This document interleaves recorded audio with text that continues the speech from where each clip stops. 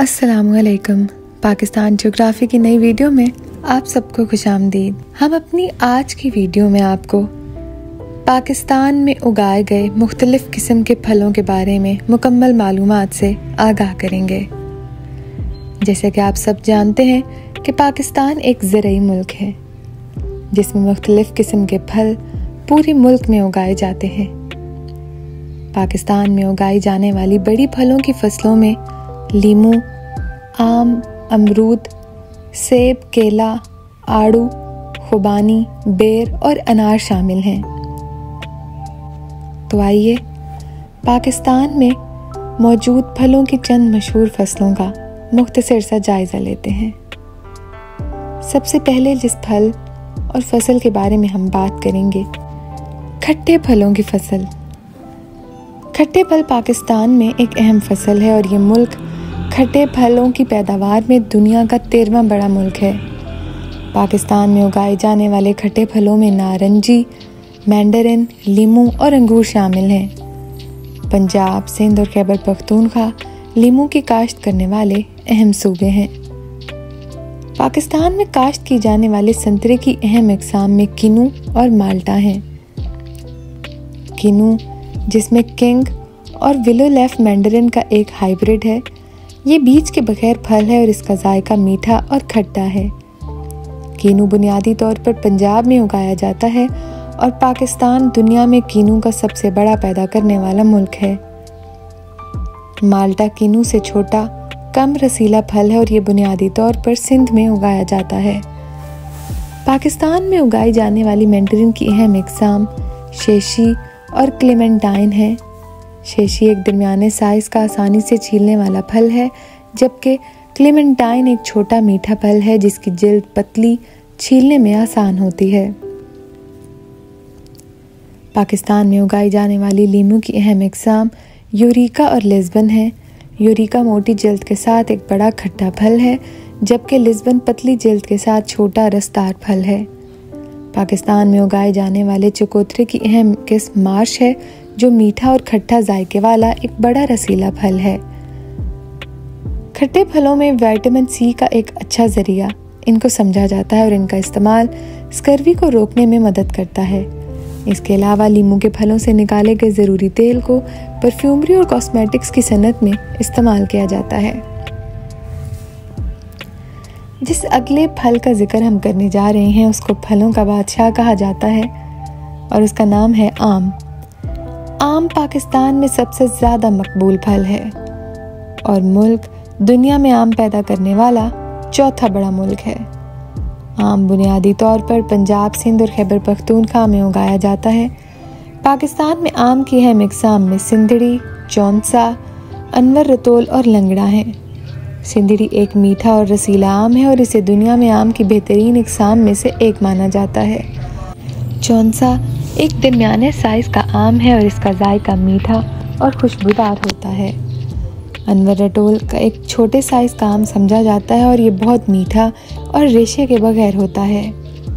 लंगड़ा एक छोटे साइज़ का आम है और इसका जायका मीठा और खट्टा होता है।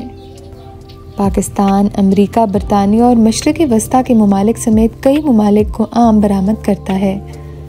आम विटामिन सी का एक अच्छा ज़रिया है और इनका इस्तेमाल हाजमा और जिल्द की सेहत को बेहतर बनाने में मदद करता है। इसके अलावा आम को फ़ूड प्रोसेसिंग इंडस्ट्री में जूस जैम और अचार बनाने के लिए इस्तेमाल किया जाता है। हम अगला फल जिसका ज़िक्र करने जा रहे हैं, उसका नाम है अमरूद। अमरूद पाकिस्तान में उगाई जाने वाली एक और अहम फल की फ़सल है और ये मुल्क दुनिया में अमरूद पैदा करने वाला आठवां बड़ा मुल्क है।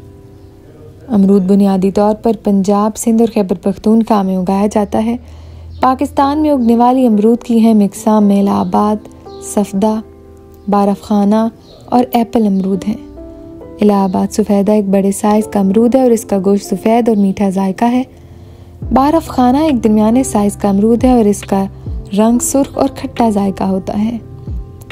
सेब अमरूद एक छोटे साइज़ का अमरूद है और इसकी जल्द सब्ज़ी माइल जर्द होती है।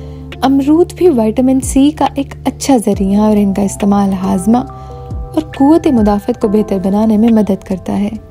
इसके अलावा अमरूद को फ़ूड प्रोसेसिंग इंडस्ट्री में जूस बनाने के लिए इस्तेमाल किया जाता है। अगला फल है सेब। सेब पाकिस्तान में उगाई जाने वाली एक और अहम फल की फ़सल है और ये मुल्क दुनिया में सेब पैदा करने वाला चौबीसवां बड़ा मुल्क है। ये सेब बुनियादी तौर पर खैबर पख्तूनखा और गिलगित बल्तिस्तान में उगाया जाता है। पाकिस्तान में उगाए जाने वाले सेब की अहम इकसाम में सुर्ख लजीज, सुनहरी लजीज और गाला हैं। सुर्ख लजीज एक बड़े साइज़ का सेब है और इसका जायका मीठा और रसीला है।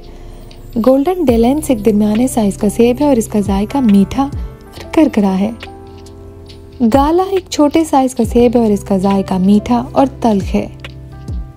सेब फाइबर और विटामिन सी का एक अच्छा ज़रिया और इनका इस्तेमाल दिल की बीमारियों से बचने और हाजमे को बेहतर बनाने में मदद करता है। इसके अलावा सेब को फ़ूड प्रोसेसिंग इंडस्ट्री में सेब का रस और सेब की चटनी बनाने के लिए इस्तेमाल किया जाता है। आगे हम जिस फल का ज़िक्र करेंगे, उसका नाम है आड़ू। आड़ू भी पाकिस्तान में उगाई जाने वाली एक और अहम फल की फ़सल है और ये मुल्क दुनिया में आड़ू पैदा करने वाला सोलवा बड़ा मुल्क है। आड़ू को बुनियादी तौर पर पंजाब, खैबर पख्तूनखा और बलूचिस्तान में उगाया जाता है। पाकिस्तान में उगाई जाने वाली आड़ू की अहम इकसाम फ्लोरिडा प्रिंस फ्लोरिडा ब्यूटी और शान पंजाब हैं। फ्लोरिडा प्रिंस एक बड़े साइज़ का आड़ू है और इसका जायका मीठा और रसीला है। फ्लोरिडा ब्यूटी एक दरमियाने साइज़ का आड़ू है और इसका रंग पीला है और इसका जायका मीठा है। शान पंजाब एक छोटे साइज़ का आड़ू है और इसकी जल्द पर सुर्खी माइल और मीठा जायका है। आड़ू भी सेब की तरह फाइबर और विटामिन सी का एक अच्छा ज़रिया है। इनका इस्तेमाल कैंसर से बचाव और जल्द की सेहत को बेहतर बनाने में मदद करता है। इसके अलावा आड़ू को फ़ूड प्रोसेसिंग इंडस्ट्री में आड़ू का रस और आड़ू का जैम बनाने के लिए इस्तेमाल किया जाता है। आगे हम बात करेंगे खुबानी की।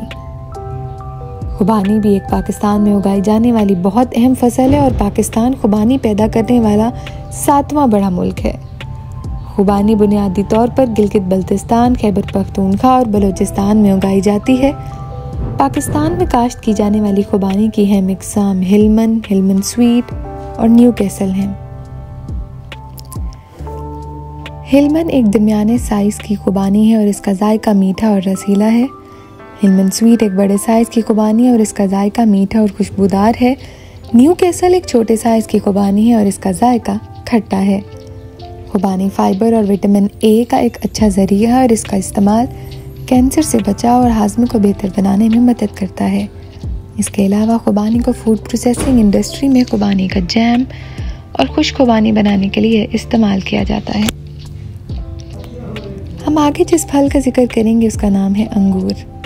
अंगूर पाकिस्तान में उगाई जाने वाली एक और अहम फल की फ़सल है और ये मुल्क दुनिया में अंगूर पैदा करने वाला सताईसवां बड़ा मुल्क है। अंगूर बुनियादी तौर पर पंजाब, सिंध और बलूचिस्तान में उगाए जाते हैं। पाकिस्तान में अंगूर की उगाई जाने वाली है। मिक्साम, थॉमसन सीडलेस, फ़िल्म सीडलेस और सुनाका है। थॉमसन सीडलेस एक बड़े साइज़ का अंगूर है और इसके जल्द सब्ज़ी माइल पीली और मीठा और रसीला जायका है। फ्लेम सीडलेस एक दरमियाने साइज़ का अंगूर है और इसकी जल्द सुर्ख और मीठा और टेंगा जायका है। सुनाका एक छोटे साइज़ का अंगूर है और इसकी जल्द स्याह और मीठा जायका होता है। अंगूर फाइबर और विटामिन सी का एक अच्छा ज़रिया है और इनका इस्तेमाल कैंसर से बचाव और दिल की सेहत को बेहतर बनाने में मदद करता है। इसके अलावा अंगूरों को खाने की प्रोसेसिंग की सन्नत में अंगूर का रस और शराब बनाने के लिए इस्तेमाल किया जाता है। आखिरी जो फल हमारी इस वीडियो का मौजू है, उसका नाम है अनार। अनार पाकिस्तान में उगाई जाने वाली एक और अहम फल की फ़सल है और पाकिस्तान दुनिया में अनार पैदा करने वाला पांचवा बड़ा मुल्क है। अनार की काश्त बुनियादी तौर पर पंजाब और बलूचिस्तान में होती है। आखिर में फल पाकिस्तान में एक अहम ज़रूरी वसीला है और मुल्क में फलों की सनत में तरक्की की बड़ी सलाहियत मौजूद है। फलों की सनत पाकिस्तान की मीशत में अहम किरदार अदा करती है, क्योंकि ये बड़ी तादाद में लोगों को रोज़गार के मौाक़े फ़राहम करती है। तो नाजरीन, ये था एक मुख्तर सा जायज़ा पाकिस्तान में तमाम फलों की अहम फ़सलों के बारे में। हम उम्मीद करते हैं कि हमारी ये वीडियो आपको बाकी वीडियोस की तरह मालूमती लगी होगी। अगर आपको हमारी वीडियो पसंद आई है तो इसे लाइक और शेयर करना मत भूलें। अपना फीडबैक हमें कमेंट्स के ज़रिए ज़रूर बताएँ और साथ ही साथ हमारे चैनल पाकिस्तान जोग्राफ़ी को सब्सक्राइब भी कर दें। बहुत शुक्रिया।